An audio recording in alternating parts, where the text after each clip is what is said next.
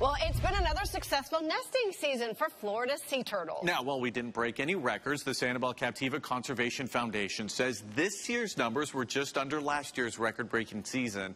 In fact, in 2023, SCCF reported there were 406 sea turtle encounters. This year, just a little less at 353. Since the agency started documenting turtles in 2016, they've now tagged nearly 1,200 individual sea turtles. Pretty impressive.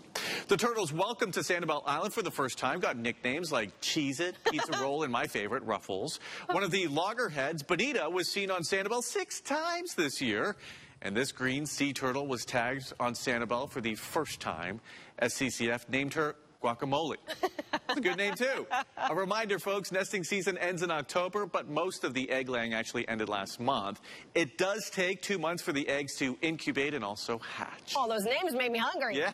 All right, well, while sea turtles have had their success, the same, unfortunately, cannot be said for some of our nesting shorebirds. SCCF says part of the problem with nesting numbers has to do with sand renourishment projects on Sanibel. According to nesting numbers, this year was the lowest amount of snowy plover nest attempts on record. There were just two. It was the first time zero chicks fledged in more than two decades. The good news is least terns, like the one that you see here in the ones you see here in the picture, they were able to successfully fledge young on the Sanibel Causeway. And SCCF says it was the first time in at least 30 years. Well, looking ahead to later this month, Collier County is hosting an event.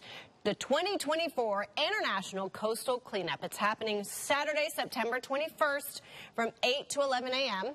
If you are interested and you want to sign up, head to our website, nbc-2.com, and check under news links.